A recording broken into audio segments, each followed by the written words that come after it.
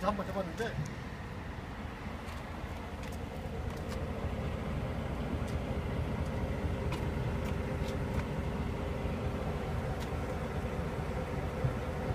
빨리 이게 가면 안 되고 천천히 그래? 해야 순간이 같은 게안 돼.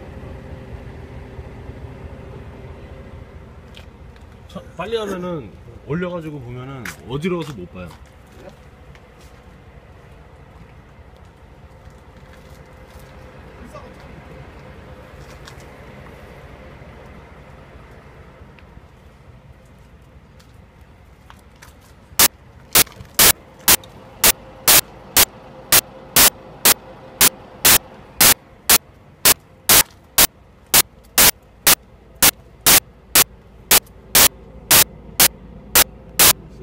찍지 마.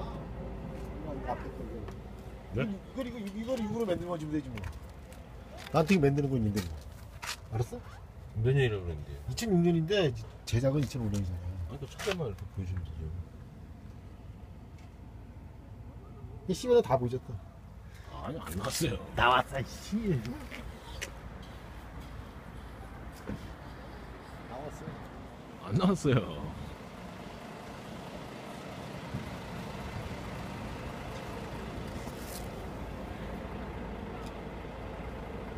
라이트 키고 하는구나.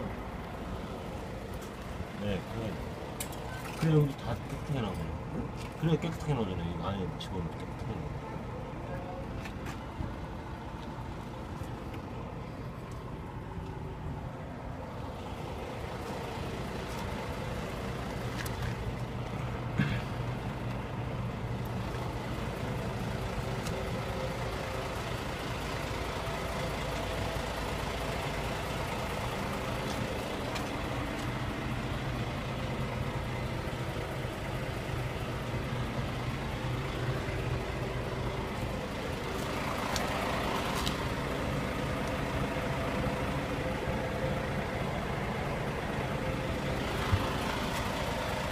배터리 적혀있는 거야?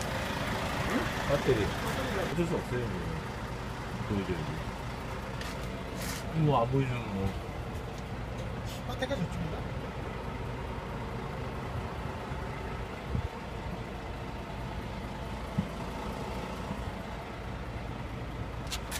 이큰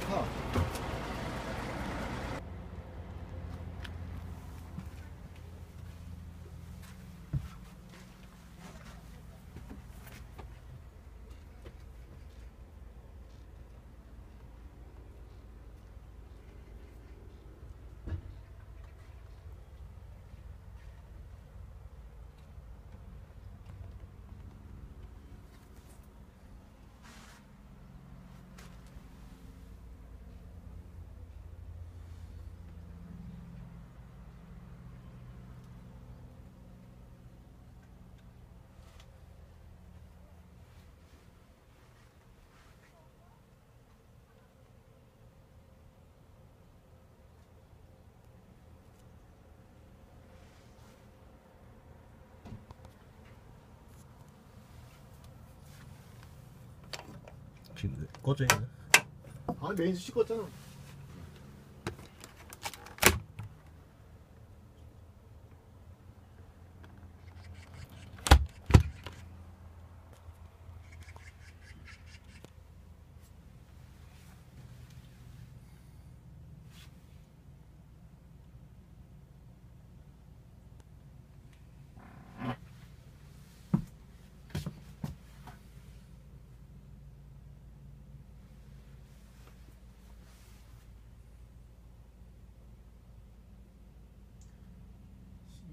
이게 산천 네가 찍어야 나는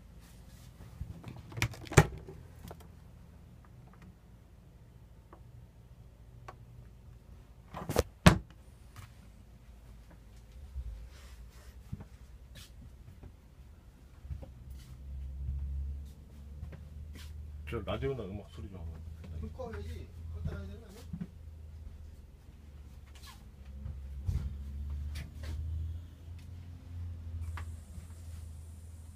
팬이에요 등 우리 이곳의 이야기를 정감 있게 전달해주고 있습니다. 그리고 특히 이 깨알 라디오 투알은 이상우, 김정미 부부가 함께 방송을 만들어가고 있는데요. 네. 또 김정미 씨는 방송을 하면서 이 지친 마음을 누군가로부터 달래고 싶을 때 이 라디오가 그들에게 힘이 돼주는 것 같아서 따뜻함과 보람을 느낄 수 있다고 합니다. 이상우, 김정미 CJ의 이야기 들어봤습니다. 같이 이렇게 호흡이 맞아야 되니까 이렇게 서로 같은 걸 뭘 하고 있다는 거가 되게 좋고 좋은 노래를 좋아하는 걸 같이 듣는 것도 되게 좋고 끝나고 이제 둘이 쉬고 있다고 하이파이브 한 번 할 때 그때도 여러모로 에어, 에어컨 좀 한번 틀어주실래요? 에어컨? 강아지가 새끼 낳다한 얘기부터 해가지고 행사 이런 얘기들 막 전하다 보면은 이 사회 구성원 속에서 굴러가는 데 이렇게 역할을 제대로 하지 않나 그런 때가 있어요. 그래서 되게 뿌듯하고 보람을 느끼는 것 같아요. 다른 건 없고요. 좀 관심과 또 애청을 좀 많이 해줬으면 좋겠다는 바람을 했고요. 우리 지역, 이 마을을 위해서 조금이나마 성장을 통해서 주민들 간의 소통이 되고 그 기반적인 관리 역할을 할 수 있는 그런 코로나19가 되기를 바라봅니다. 네, 내가 살고 있는 마을에 사랑하고 아끼는 마음이 있을 때에 또 이 라디오 방송이 사랑을 하는 거예요. 네, 이 라디오라는 게 사람 사는 이야기를 따뜻하게 전해주고 또 라디오를 통해서 위로를 많이 받기도 하잖아요. 이웃들이 둘러앉아서 내 이야기를 풀어놓으면서 서로 소통하고 있는 흥양청 라디오. 해장 이동과 흥양청을 아끼는 마음을 담은 주민들의 이야기가 계속해서 이어졌으면 좋겠습니다. 네. 이 방송은 이동 흥양청 산책로에서 직접 들을 수 있고요. 인터넷 세이클럽 홈페이지 그리고 모바일에서는 세이캐스트 어플을 다운받아서 들을 수 있습니다.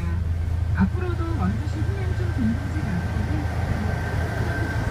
주민들의 이야기까지 키워나갈 계획입니다. 지금까지 원주에서 전해드렸습니다. 네.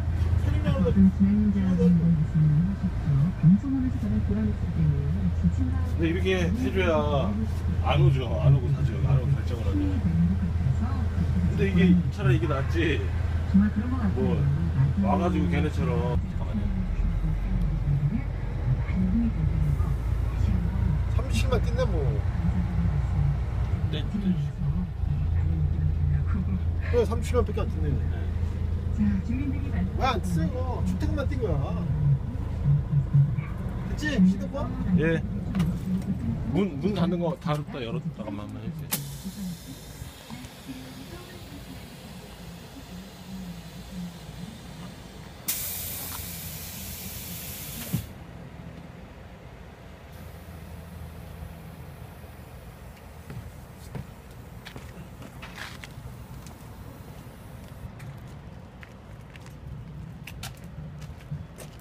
다 찍었지? 네.